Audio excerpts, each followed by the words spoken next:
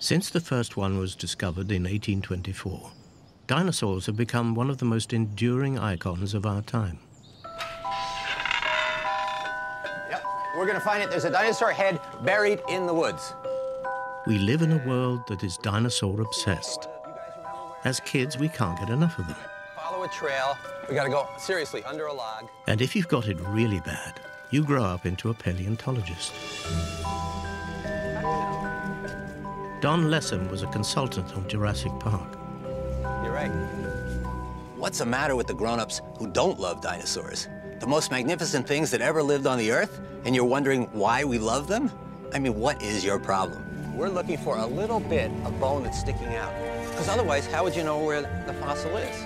They were the superlatives. They were the biggest, the heaviest, the meanest, the longest. You name it. Dinosaurs were it. Hey, Haley! The reason it's so fascinating for kids, I think, is that they can imagine what it's like to be in that world. We have a hard time imagining what it's like to go to Florida. For little kids, when they're two and three and they're starting to think about the world a little bit, these are monsters. They're real, but they're not under the bed. When I was a kid, I really wanted a dinosaur to ride on.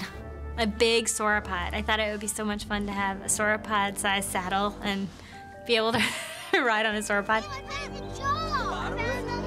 We can get in over here. We might be able to... As a paleontologist, I love digging up the possibility of monsters of my childhood, looking for strange beasts that once roamed where I live now. Well, imagine if dinosaurs were not just curiosities dug up from the ground.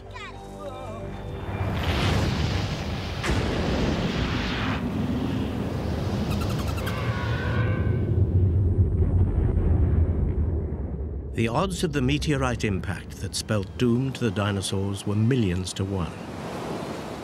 Nothing like it has happened in the 65 million years since. Yet this single event changed life on Earth forever. But what if we could rerun history?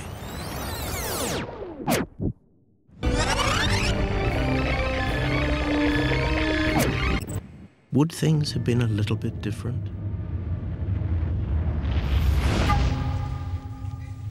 Would we keep dinosaurs as pets?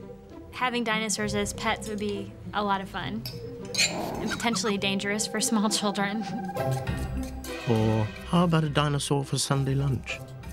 I really welcome the idea, grisly as it sounds, of trying Protoceratops meat. What if they'd evolved to stand side by side with us? Could dinosaurs be humanoid too? If it's such a good solution for us, is it so difficult to imagine it could be a good solution for a dinosaur? Dinosaurs of the 21st century? Are they serious? Don't laugh. The joke might just be on you.